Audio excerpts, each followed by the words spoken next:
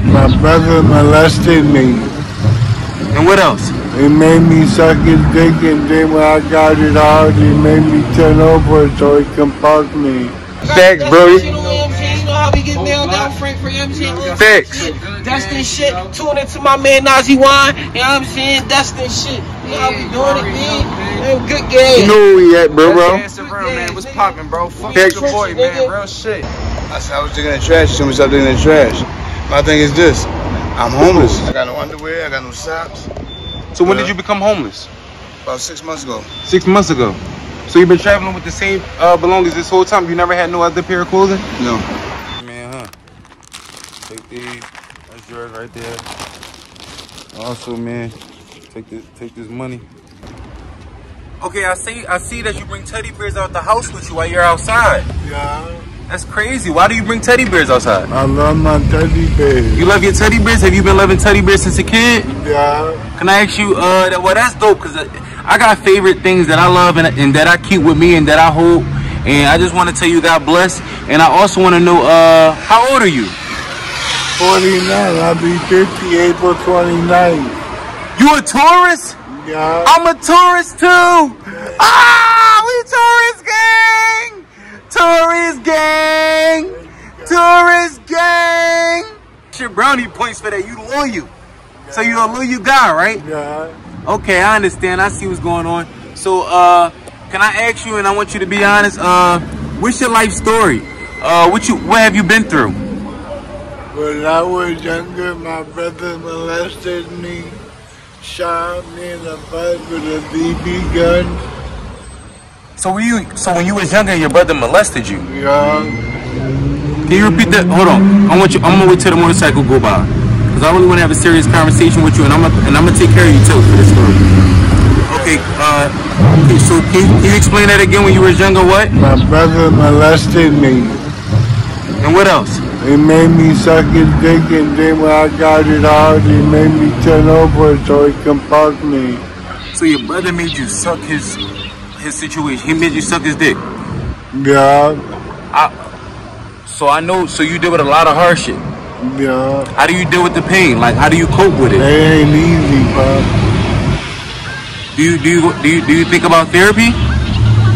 Or you don't feel like that's like that will help? That won't help. You don't think therapy will help?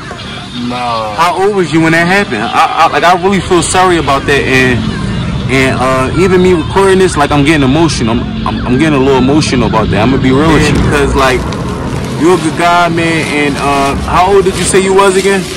About 14, 15 You about 14, 15. days. He made me smoke weed. Huh? He made me smoke weed. So that's why you smoke weed now? No, because of him. Just because of him. It's hard to quit, man. Can I ask you what happened to your brother? Is he still alive? Nah, he died.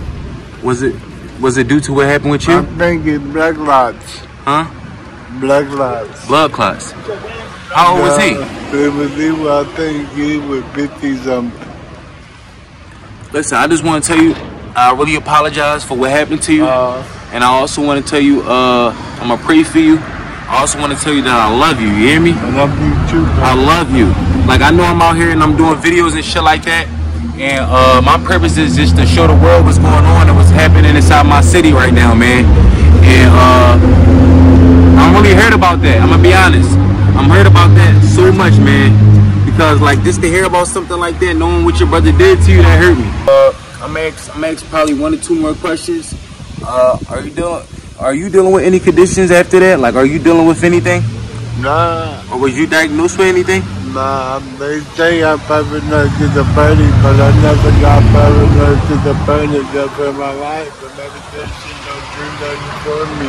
Say that. Say, can you say it louder? The medication, I'm not paranoid schizophrenic. I never got paranoid in my life. I hope the Lord take care of it when I comes and take care of their lives, man. I love you, brother. Okay. I love you brother. Okay. Can you give your name? Lorenzo Parquin, P-A-R-Q-U-E-R. All right, Lorenzo. I love you, man. I'm sorry for your loss, man. And like I promised. You want please do that old camera? Thank you, bro. Thank you, Lorenzo. I appreciate you, okay? All right, thank you, Lorenzo. I love you, okay? Again. Keep our city, man. Look at our streets. Look at everything that's going on. Look at all this trash. That's how they keep it, man. That's where you at, man. We're in Frankford and Kensington, man. That's how they look, man. Both sides. All right, how you doing? What's your name? Shadir Barcia Wilson. Shadir Barcia Wilson. All right, Shadir Wilson. I just seen you right there, man. Uh, I seen you got some nice clothes that was inside there that you picked out. I didn't. All I gave was these bags. All you did was get the All bag? I have is, all I have is the clothes on my back. Why didn't you take the clothes out of the bag? Because they say don't go in the bags. But I, I clean for people. I wipe down I'm blood. gonna- I'm homeless. Uh, everything I own is in this cart. Everything on is in this car. I don't see no clothes in there. I don't have none. So you don't have nothing, no clothes. I got no underwear. I got no socks. So when did you become homeless? About six months ago. Six months ago. So you've been traveling with the same uh, belongings this whole time. You never had no other pair of clothing. No. So you so you haven't been able to wash, shower, or nothing. Look at my hands. I write poetry. You write poetry. I wrote 6,000 poems in the last 12 years. So you so you're very very intelligent. So what I'm gonna do is, I don't want nobody to be in my place. Okay. So I'm gonna give you a poem. It's, it's my autobiography about my life. It's called My Smile Is Just a Mask. Okay. And I usually don't do this, but I really want you to listen to this poem because you're gonna relate to something in this poem. As I say, it's somewhere between sadness and happiness. I consider being in a blessed state to be more or less. Now, to you more blessed, not experience none of the above. How the fuck I know hatred if I never knew love? But in between the two is space with spectators. But in between the floors, an emotional elevator. If I go up, I spread a lot of pain.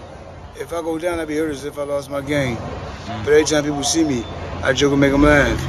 Shh, please don't let my smile is just a mask. How can people feel you today and fail you tomorrow? Or try to hear you today, but then become the only your sorrow? Maybe if I don't love, I will never learn to hate. Maybe if I destroy, it's a trying to create. I live a life with acceptance, but I'm gonna take your problems to the world with acceptance. So when like animals, be a single, be chained. Life is a game. When we gonna realize we all sisters and brothers? When we gonna start to appreciate one another? But every time people see me, I joke and make them laugh. I really think they forgot that my smile is just a mask. So maybe these things can begin with us, as we open-minded and one with trust. Not being concerned whether it's a female or male. So we slip as a team, then we all fail. But even though to you, the poem might sound strange. But I found my soulmate, my girlfriend in this pain. But every time people see me, I joke and make them laugh. Shh, please tell you that my smile a mask. Oh my gosh, that was crazy. That's enough footage, man. This my guy, my right here, man. Uh, he's homeless. Uh, you see, you see what happened with my guy, man. I asked you guys to be able to donate, man, so I could be able to help uh, provide for the community, man. These is the reasons, man. He is the reason why I want to help the community. This bigger shirt too. So uh, I do want to.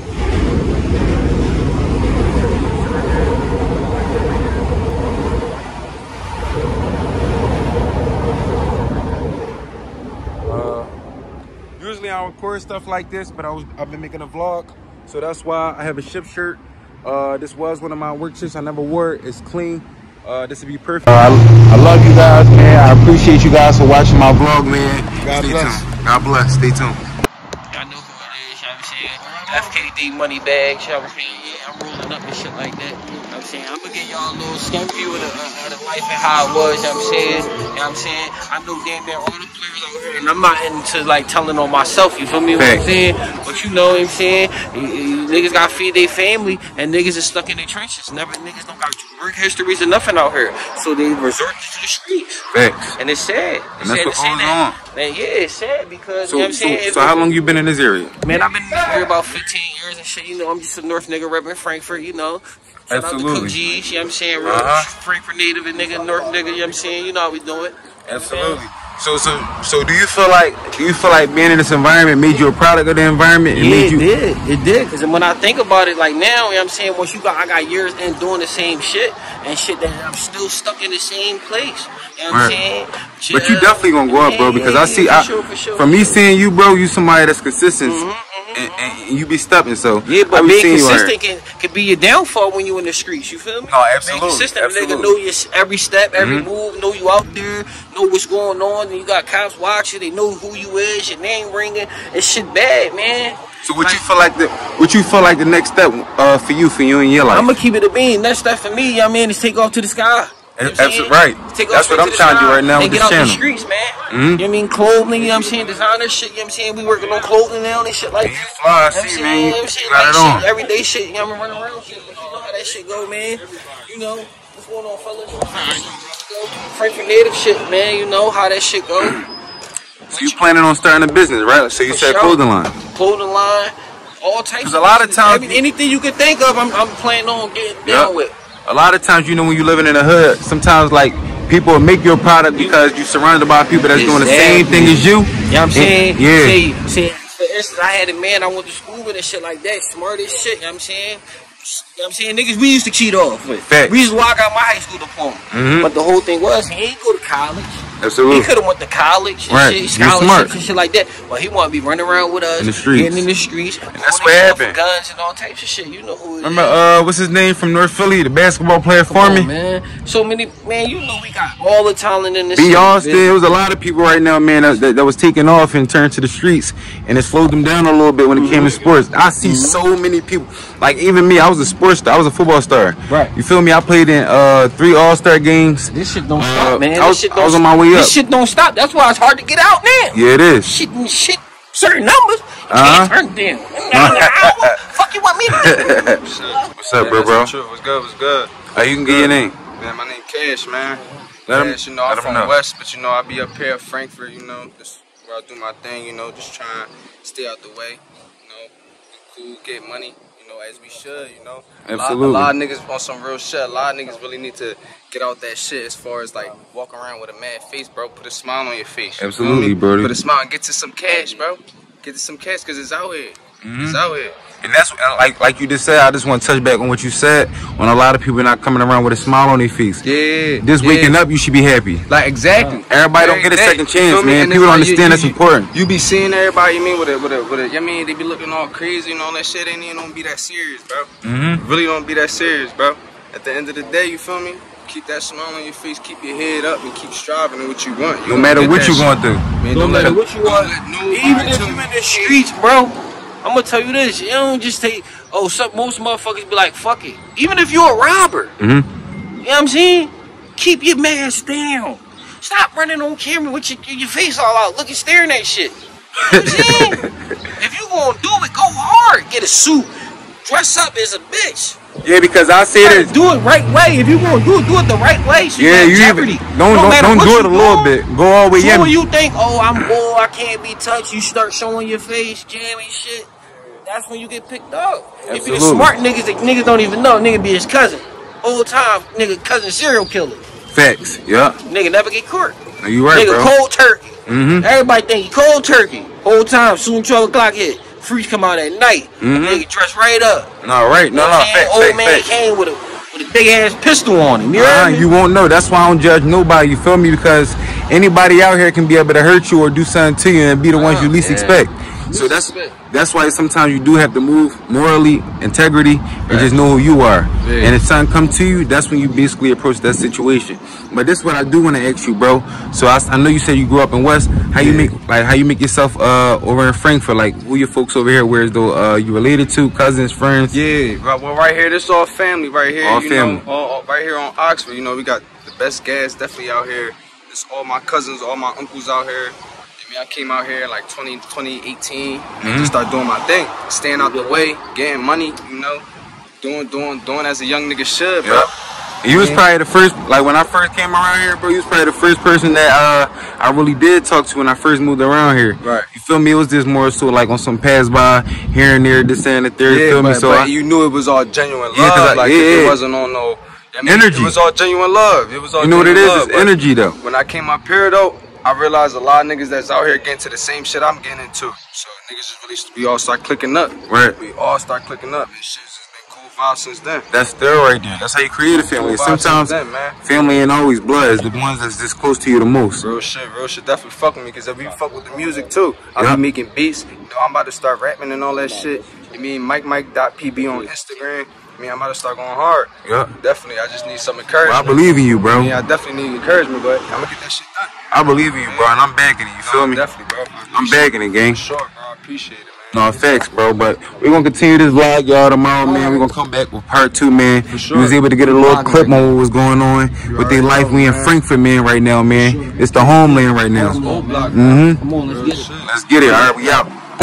Uh, I've been that nigga, pockets they blue, something like the ocean Pacific. You hating on me, fuck how you feeling, as long as it come from a distance. Put a trick on that dick till I had enough. Till my bitch take a shift, got a bag enough. If you get who is laughing it up, that I'm sick, they ain't think it be us.